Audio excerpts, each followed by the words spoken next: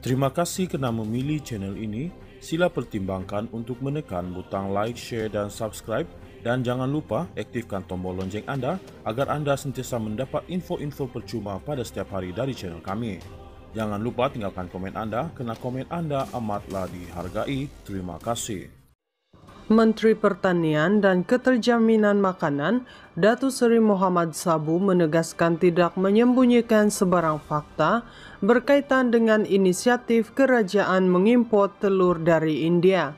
Muhammad menegaskan sedia mendedahkan sebarang maklumat yang diminta pembangkang atau mana-mana pihak berhubung inisiatif berkenaan Ketika menggulung perbahasan belanjawan 2023 di Dewan Rakyat hari ini, Muhammad mengesahkan bahawa JNE Advanced Tech Sendirian Berhad adalah syarikat tunggal yang diberi kebenaran untuk mengimport telur dari India.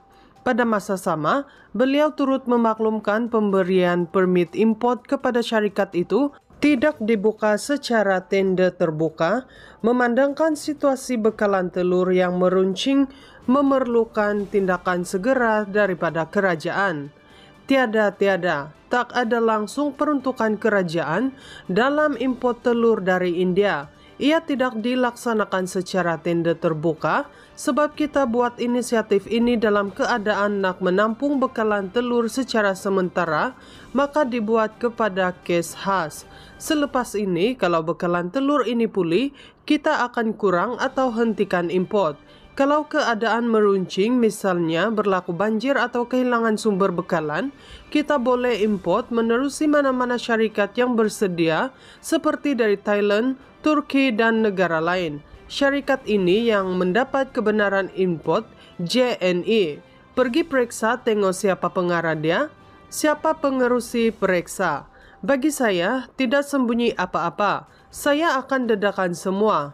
Ini Abang Mat lah, katanya. Sesi penggulungan Muhammad itu juga turut mencuit hati wakil rakyat apabila ahli parlimen kota raja itu secara berseloroh memaklumkan lebih seronok sekiranya duduk di sebelah pembangkang. Ini Abang Matlah, cuma bila jadi kerajaan ini cakap perlahan sikit. Kalau duduk sebelah sana pembangkang memang seronok, tapi dah duduk sebelah sini tak mahulah pergi sebelah sana, katanya sambil disahut ketawa wakil rakyat kerajaan dan pembangkang. Menyambung penggulungannya, Muhammad menzahirkan keyakinan bekalan dan harga telur akan pulih semula kepada keadaan kira-kira lima tahun lalu di mana Malaysia menjadi antara pengekspor telur terbesar dunia ketika itu.